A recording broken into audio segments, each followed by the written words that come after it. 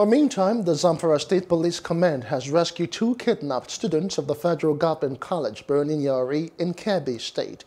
Briefing newsman on Sunday, the Zamfara State Police Commissioner Husseini Rabiu said the two students were rescued in a bush in Barbadoka village of the Maru local government area.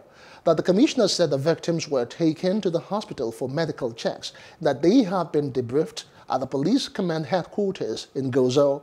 He said the students would be handed over to the Kebbi state government through the state police command. Hello, hope you enjoyed the news. Please do subscribe to our YouTube channel and don't forget to hit the notification button so you get notified about fresh news updates.